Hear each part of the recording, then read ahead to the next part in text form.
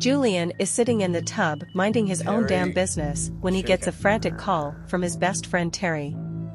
The problem with Terry is that he seems to suffer from chronic paranoid.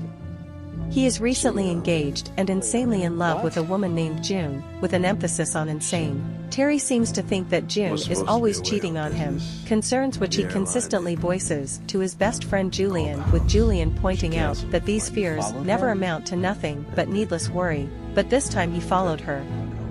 Terry followed June to a sleazy motel, Hotel. the kind that rents rooms by the hour, and bribed our bellman to tell him which room June has checked into so he could take the room across the hall and spy on her.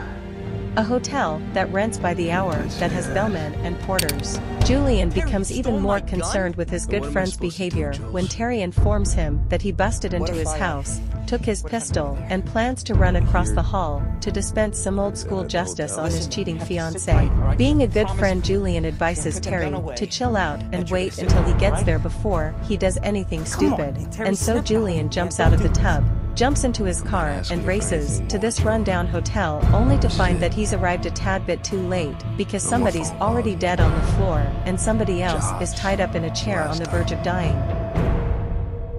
I promise. Terry, where are you? I'm at the Riverview. Across the hall.